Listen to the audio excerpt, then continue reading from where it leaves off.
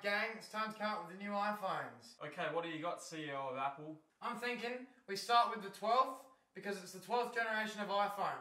Makes sense. Logical. And then we make a better version called the 12 Pro. Well, why don't we just make the original version as good as the Pro, and then just make that the only one? Shut up! After that, we've got the 12 Pro Max. Why not I think a 12 and a 12 Max would be so much simpler. And also, we've got the 12 Mini. Wouldn't a 12 be small enough? Why are we going smaller? And then, we've got the 12 Mini Small. How small is that gonna be? And then, just to add more options for the consumer, we're going to add the 12 Mini Max. That's That's, just... that's just the same as That's 12. the same as 12. 12 Mini Max Pro. I can't even do the math on a simpler way to say that. The 12 2.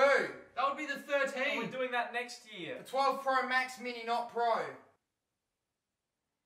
That literally is just the 12. People want options, guys. Does anyone get the feeling we're segregating our market a little bit? The 12, but it's as big as an iPad. That's just an iPad with cellular. A cellular iPad. 12, but it's 15 inches, it has a keyboard attached, and it's got advanced computing power. That's literally a MacBook. We make that. No, I think we should keep this in the iPhone line. This one's going to be a big seller. So, do you remember when Steve tried to keep things simple? Yes, and I'm taking his legacy and I'm expanding it.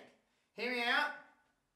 20 iPhone 12s. I think let's make a good phone and a bigger version for a little bit more money. We're making a cheese version. Oh, for fuck's sake. Oh, Uh, wait, that could melt. That's why that's a bad idea? Watermelon iPhone. Now, that would get so messy. why are you even considering the pros and cons of a watermelon iPhone? Boys, we aren't thinking big enough.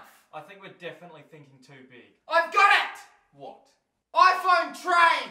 No! iPhone train! Actually sounds kind of lit. No! California's on my